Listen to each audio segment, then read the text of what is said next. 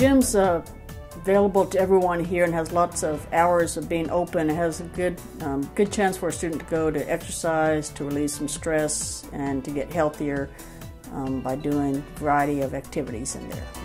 One, two.